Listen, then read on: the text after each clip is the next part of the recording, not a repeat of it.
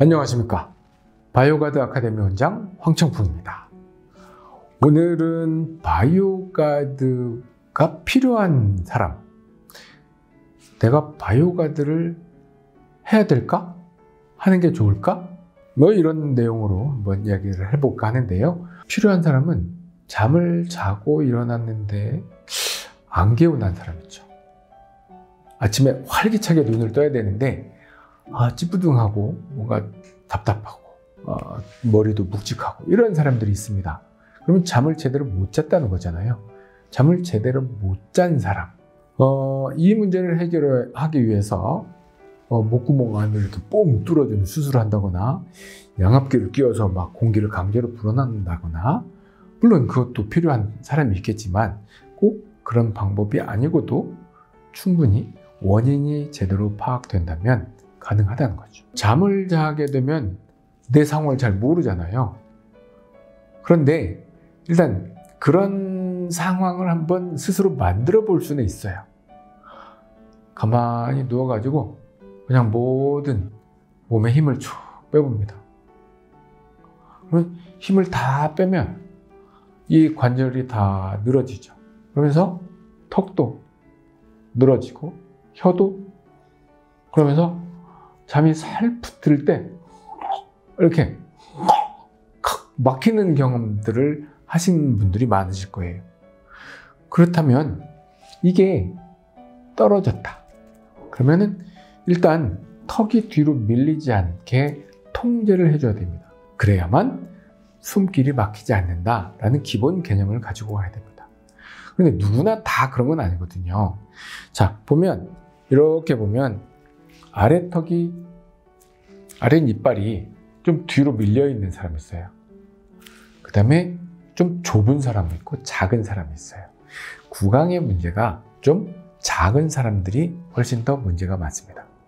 또 하나는 혀가 큰 사람들입니다. 혀가 큰 사람들이 턱이 조금만 밀려서 뒤로 넘어가거든요.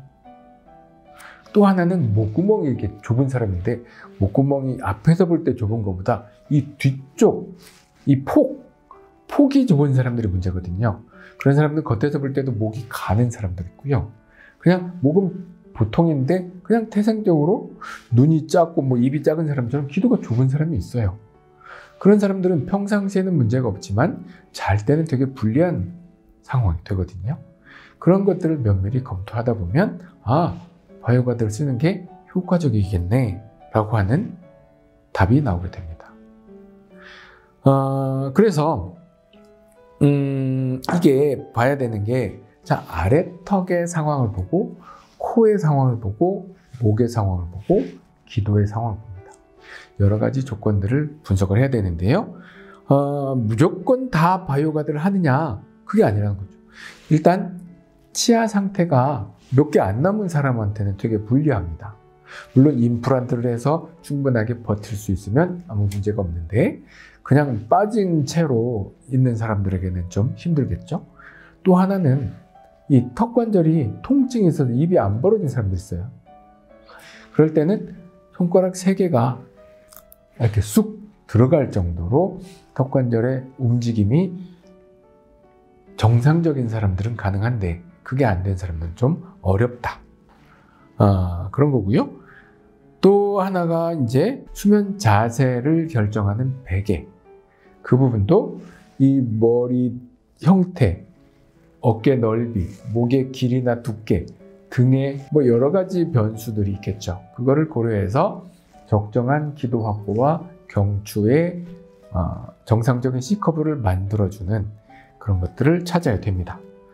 코 역시 비염 때문에 내가 코가 숨이 잘 안 쉬어지는지 또는 그냥 단순하게 그냥 정말 좁아가지고 안 쉬어지는지 어디가 휘어서 안 쉬어지는지 이런 여러 가지 것들을 분석해서 거, 거기에 맞는 적정한 보조기를 바이오가드를 만들어 볼 수 있겠죠. 이제 좀더 어, 심각한 경우는 혀 혀가 큰 사람들이 있어요. 길고 두껍고 혀가 입안에 꽉 찬 사람들이 있거든요. 그런 분들은 턱을 이렇게 당겨봐야 효과가 좀 떨어져요.